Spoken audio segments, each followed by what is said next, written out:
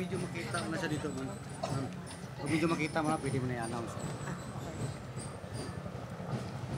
Para in anything para para maano para maalis. Kayo talaga gusto. Hindi ako magsasalita. Siguro yung gagantin. Nagulan po kayo, ma'am. ano? Si Rose talaga. oh.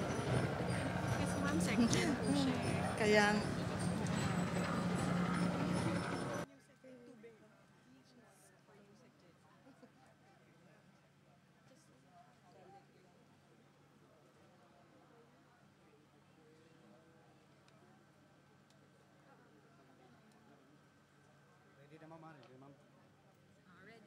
ready na po. Pag alight din, na.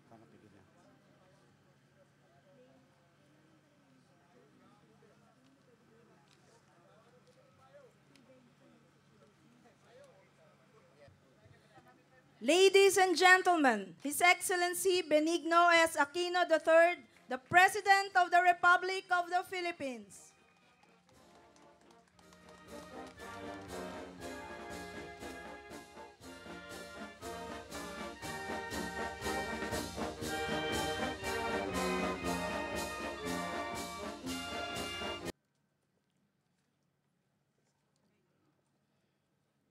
Bismillahirrahmanirrahim. Alhamdulillah. Wassalatu wassalamu ala Rasulillah.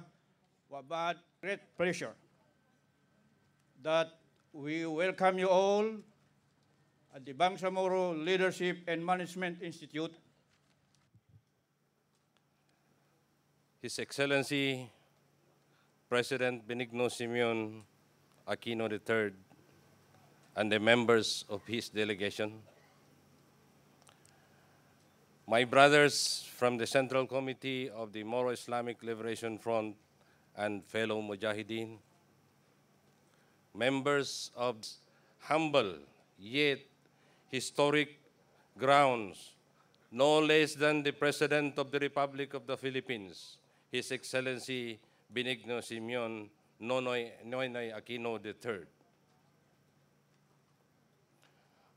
Truly, we are humbled by this grand gesture of the President of personally launching several socio-economic projects uh, One, we have Majuri Saka Abu Bakar.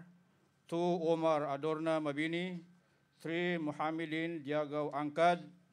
Four, Kazapi Bibo Asim. Five, Shadan Kaya Palahuddin. Ang pagtanggap ng PhilHealth cards ay nagsisimbolo na ngayon ay ganap na silang PhilHealth members. Babayaran ng national government ang kanilang premiums sa loob ng dalawang taon. Kasabay po nito ang pagsasaayos din ng mga health services at facilities sa ilang mga napiling komunidad.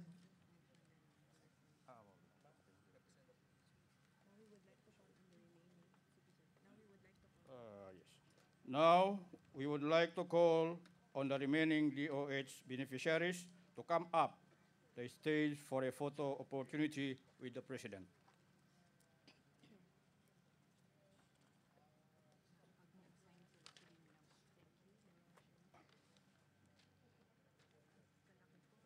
Kalakip po ng scholarship grants for college education na ipamimigay ng Commission on Higher Education ay ang tuition fees, semestral allowance, at book allowance. Now we would like to call on the remaining CHED beneficiaries to come up the stage for a photo opportunity with the President.